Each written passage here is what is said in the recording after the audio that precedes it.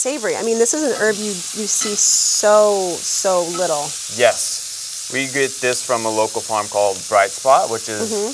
outside of uh, Wilmington, Delaware. Okay, awesome. But these, this is a really special thing because this is kind of the first season I'm really working with it, mm-hmm. and I just find myself using it for so many Right. different things. It's got a pretty uh, universal flavor.